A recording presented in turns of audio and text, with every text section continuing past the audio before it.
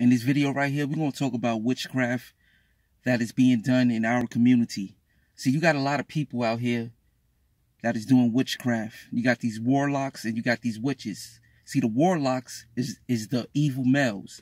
The witches are these evil females that's in our lives doing, doing negative things. See, witchcraft is not what you see in the cartoons. You, you know what I'm saying? When people's out here blowing dust in the air and magically something bad happens. Now, people throw words in the air and through their actions and it's, and it causes destruction in your life. That's witchcraft. People will poison your food. That's witchcraft. When somebody spread rumors about you and you doing right and they just creating something bad about you, that's witchcraft. When somebody physically attack you that is witchcraft, especially if you ain't do nothing wrong. It's abuse. Abuse is witchcraft. Mental abuse, emotional abuse, financial abuse. When somebody attacking your source of making a living for yourself, that's witchcraft. See, witchcraft is being done in y'all churches. Witchcraft is being done on your jobs. You got evil people that see the light in you and they trying to trying to throw darkness on you.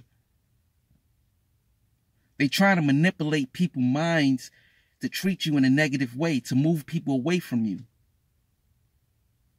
That is witchcraft. It comes a time in our life we got to fight back. We can't allow for these evil activities to overshadow the goodness in our lives. You can't allow for these evil people to do these things to you. Either you're going to remove yourself and protect yourself by speaking up for yourself, by praying to the Most High every day.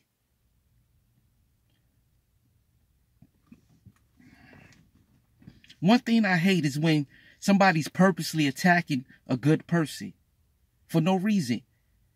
See, hate, when somebody got hate in their heart, that is a form of of witchcraft, right? It's a form of witchcraft that's being performed against you.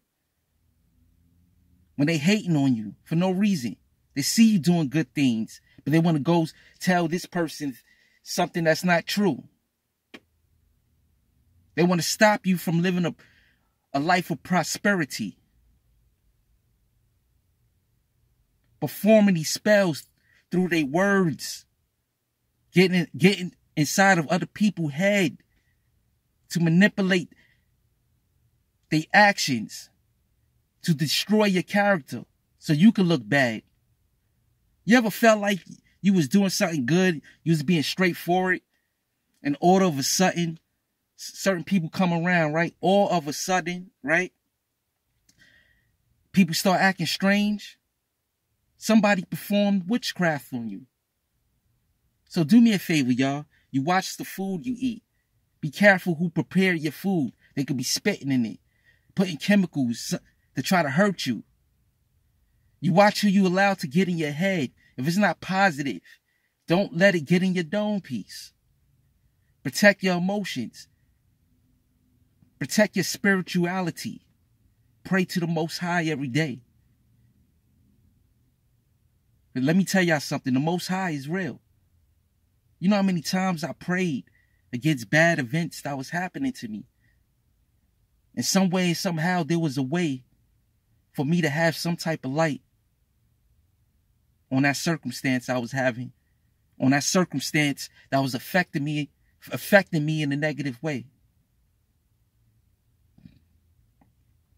This is Community Info TV. Subscribe to the channel, like, share the video, hit the notification button, and I'll holler at y'all later.